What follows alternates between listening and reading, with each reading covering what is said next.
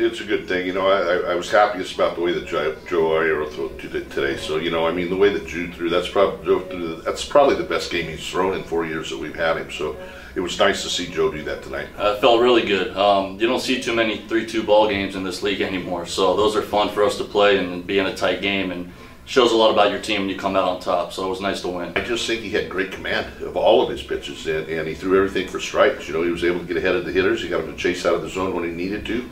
Uh, but just a great game by Joe. Just throwing my pitches with conviction. Um, I have to give a lot of credit to Wilson Ramos. He makes it so easy back there, being a former major leaguer, uh, you know, an MLB veteran. So he takes the thinking element out of it. So I just go out there and I don't even have to think. I just throw what he calls. Um, I, like I said, I threw every pitch with conviction. Kept the ball down and away, hit my spots. Um, was able to have some success. It's resilient. We've seen it all year. You know, we've, we've come back from a lot of games to win. You know, today we gave up two in the ninth, but had to score one in the ninth, and, and, and we were able to do that. It says what we've known all year. I mean, we're never counted out. We have a lot of confidence. I mean, you just know the, the feeling in the dugout. Even when they tied it up, it's like, all right, we're going to win this game, whether it's right now or the 10th or 11th.